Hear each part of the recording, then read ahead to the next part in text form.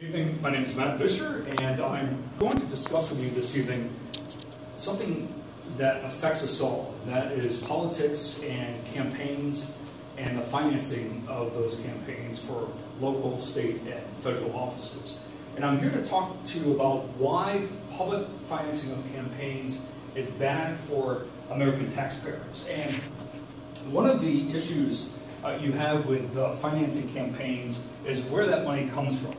And certainly with uh, the financing of public campaigns, you could expect to see higher taxes as a result of campaigns which are publicly funded. And the reason for that is that obviously with public funded funding of campaigns, higher taxes would result because as you are paying for these campaigns, uh, certainly the government, state, local, or federal governments would be looking for an allocation of money to support these local, state, or federal races. And that money has to come from someone. So if it's coming from the public, you can expect to pay higher taxes, uh, certainly as a result of uh, publicly funded campaigns.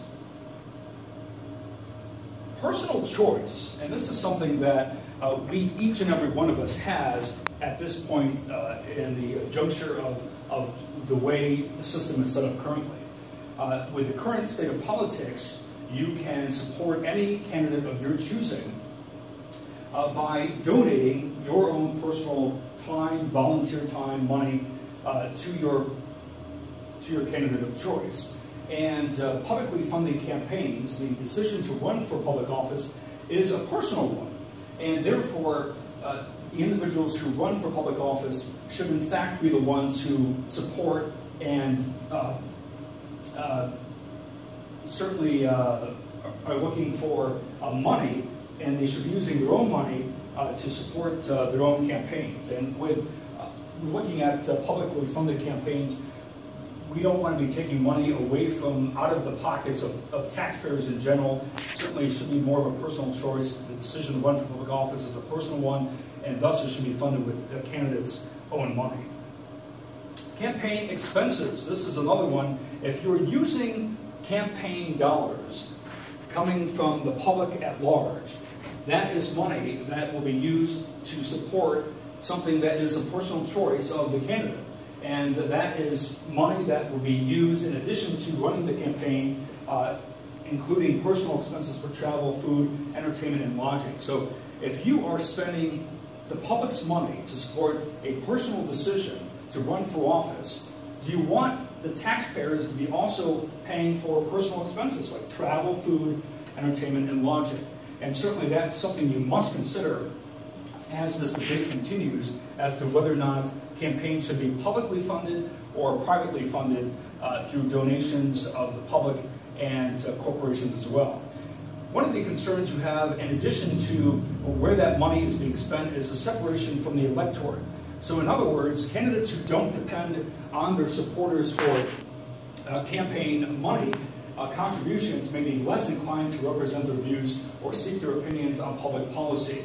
If you have a large pot of money that's coming from a vast uh, pot of a vast majority of Americans, and that money is being spent for a particular cause or purpose, you are certainly using your money as the taxpayer possibly to support notions and issues that, that you may not be close to. But in addition, you're looking at uh, separating the electorate from the, from, the, from the taxpayers and the representatives because this money separates the Americans from uh, the, the groups that are representing their uh, constituents because that money is not being um, spent to represent their own opinions of public policy. So there's a separation there, and the concern is that as that money goes into the public coffers, uh, essentially you're going to have people at the state, federal, and uh, local level promoting their own agenda and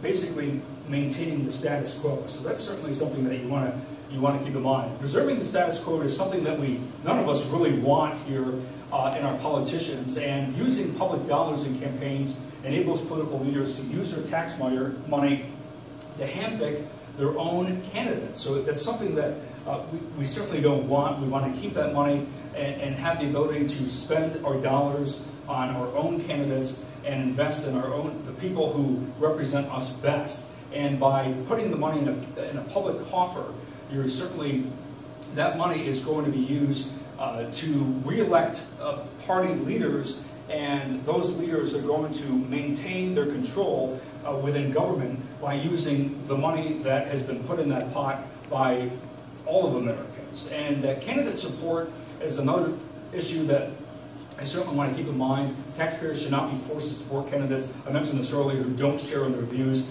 It's as if you're taking that money, again, coming from your taxes to support a person who doesn't share in your viewpoints. And that uh, is, again, taking the freedom away from uh, the individual viewpoints of the person if they have the willingness to spend their own money to support a local candidate.